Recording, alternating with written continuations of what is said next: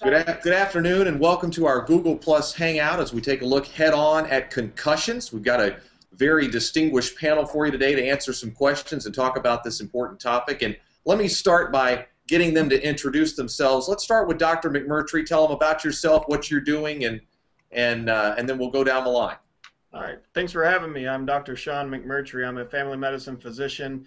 Uh, did an extra fellowship year in sports medicine, so I'm sports medicine trained uh, primary care physician. I've done the ImPACT uh, concussion certification testing, and so I'm familiar with the uh, ImPACT testing for concussions uh, as well as sports injuries in, gen- in general. I'm at uh, Max Health Family Medicine here in Colleyville, Texas, working with some of the local athletes in this area. So thanks for having me on. Okay, Dr.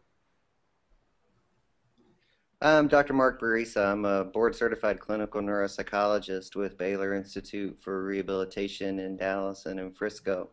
And I've got about 17 years background in um, neurological injury, including brain injury and concussion. And uh, I too work with ImPACT systems as well as paper and pencil testing with a number of teams in the area here, as well as with general referrals in the community. And Dr. Berry, why don't you tell us a little bit about yourself, please? Absolutely, yeah. I'm uh, Robert Berry. I'm an orthopedic surgeon, fellowship trained in sports medicine, uh, the director of sports medicine at Baylor Plano Regional Medical Center here in Plano, Texas. Um, I was the team physician with the San Diego Chargers in uh, 2004 to 2005, and then uh, 2010, 2011. Also, uh, been team physician with X Games and uh, Red Bull X Fighters, and worked with a lot of athletes in all capacity for, for many years now. And uh, cover some local high schools and athletes here in Texas now. And it means you got to see LaDainian Tomlinson run, a TCU kid, right? Absolutely. Uh, great man, uh, probably even a better man than he is a football Very good. player. And we all know uh, what a great football player he was, so I enjoyed my time. Well, let's start by just taking a look at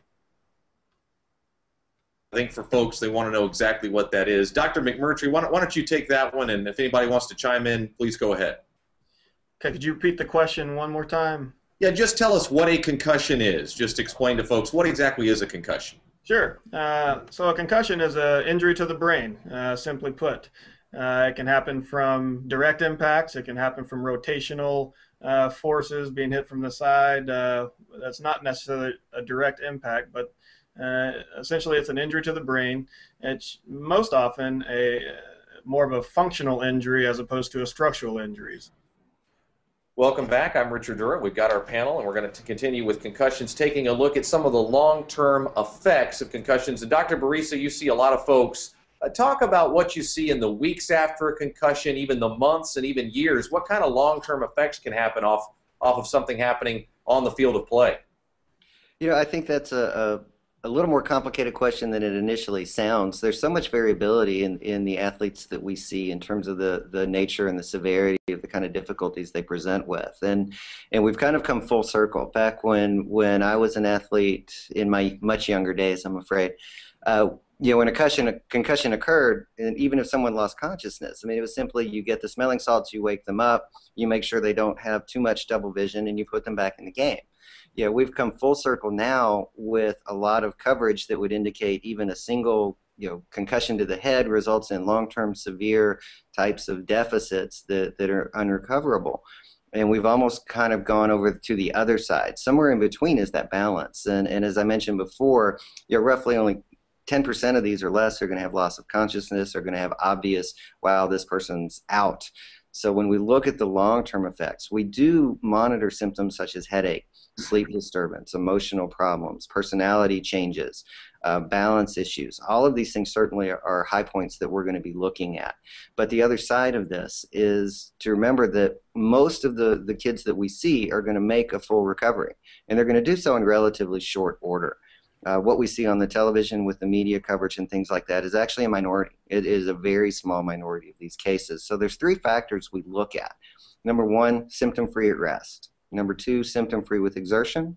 And then number three, a return to a presumed baseline level of cognitive function.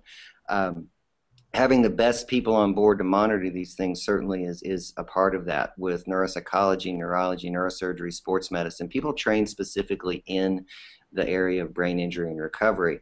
In terms of the long-term effects, there is is a great deal of new research. I mean, this is this is the buzzword now, right? I mean, we, we see multiple CNN reports. We see people covering these things with regularity now.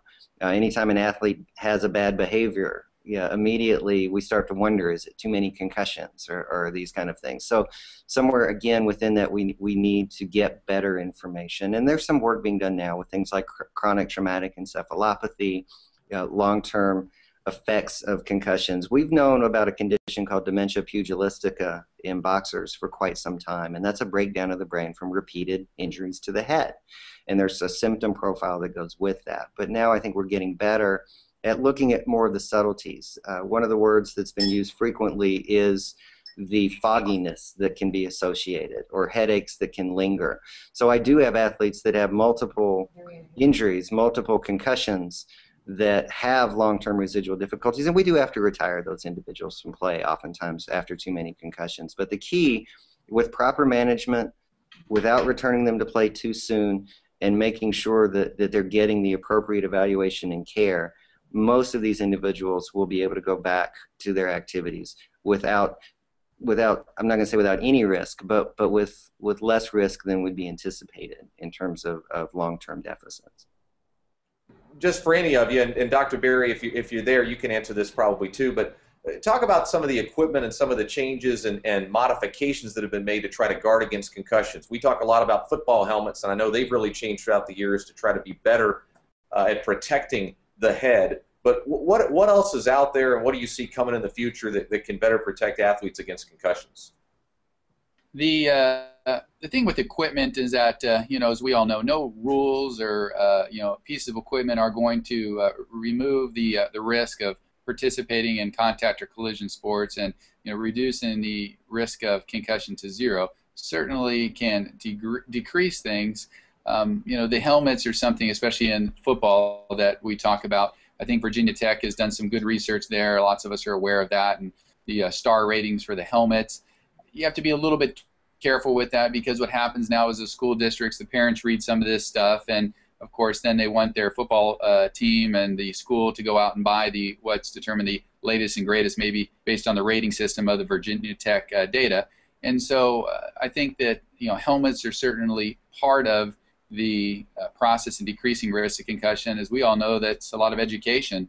One of the things that uh, I think uh, you know we talk about is that if you really wanted a helmet uh, to protect and against concussions, you'd have to have something be so big that it would be prohibitive to even play. You know, something be like 10 times the size of our current helmets to actually absorb that impact, much like in a car that gets in an accident having you know, uh, crush spaces to absorb the force that's not practical. I think there's a lot of people that think back when we had the leather helmets, uh, before we even had face masks, and before people started using their helmets as weapons to tackle, that we may have had even less concussions. You know, you can look at sports like rugby, uh, where people aren't wearing helmets. That you know, cut, uh, helmets can be helpful at decreasing injuries, but I would argue, and I think some of my colleagues, that some of the helmets sometimes can increase the risk of concussion only for the fact that it gives a false, a false sense of security to athletes, and they use those helmets as weapons. So to summarize that, there's good helmets out there. I think you don't probably want the one that's rated the lowest in the star ratings from Virginia Tech, but probably one in the middle there is okay. You don't need to rush out and have your entire football team uh, or your booster club buy new helmets. I think probably every uh, uh, one thing I would add though is if you have an athlete that has had a concussion, uh, uh evaluating that helmet that they're using and considering whether or not that helmet should be retired and replaced. I think that's something important to consider. Yeah, I think another point, especially with the youth football, is oftentimes these these very young athletes are getting ill-fitting helmets, and Absolutely. so you've got a helmet that's not fitting a pee wee football player appropriately. And sometimes it's like well he'll grow into it. Well that's that's not a good compromise on this one. You know growing into shoulder pads is one thing. Growing into a helmet that's trying to avoid an injury to the head is something very different.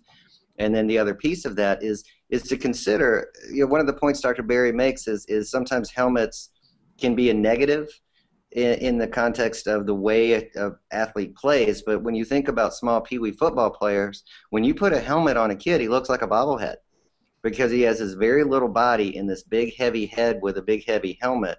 And part of the risk factor in concussion is the strength of the neck and the neck's ability to, to withstand the impact of something striking it or a whiplash type of effect. So even if the head is not hit, if a running back is getting tackled at a high rate of speed and the head is jolted, uh, that also can cause injury if the neck is not strong enough to, to hold the head in place. And that's oftentimes what we even see in sports such as soccer, lacrosse, and some of these other high velocity sports. Football gets a lot of attention, but some of these other sports also are very vulnerable, and, and the protection factor is it needs to be balanced in that respect too.